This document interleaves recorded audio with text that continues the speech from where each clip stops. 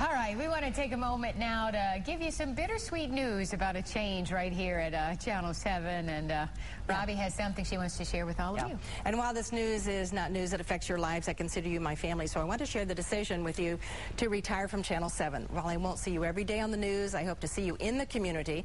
Not having the daily demands of two newscasts, I plan to be a full-time volunteer and an officer for the Thoroughbred Rescue I've been involved with for 14 years, Canter.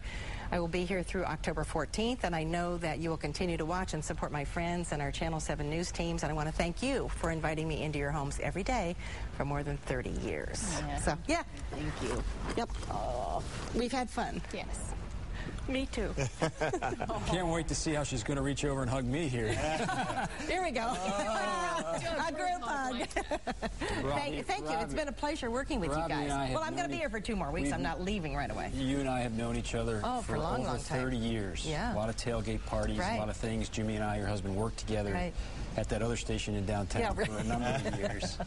Um, people don't understand what a terrific, fabulous, incredible woman this is outside of Oh, that's nice. Yeah, Thank the you. business, sweetest, besides sweetest what you see every Yeah, day on the absolutely. air. You're going to be a full-time volunteer. You already are. I mean, there's so many things that you work with. and Yeah, I, re- I really do, and I you know, hope to. I know you have a. I have a children's book out there. I hope to write another children's book. So there's just a lot of things to do, and and uh, and Jim and I are going to be doing some traveling as well. So we'll have time to do And that. We love you, and, and we Thank miss you. And, and just like Don was saying, you are just the best, the absolute best to work with. Well, I'm not. Like I you're said, I'm not going to go away. I'm still going to see See, you we were trying around. not to make Robbie Yeah. cry or anything up on Thank this you, set. thank and you. they'll be at the tailgate for the Michigan Michigan State oh, football game. Oh, you game in a know it. couple of You weeks. know it. I'm going to be Robbie, there. yeah. Yeah, that's right. Yeah. Yeah. Carolyn in her green. I'm in my blue.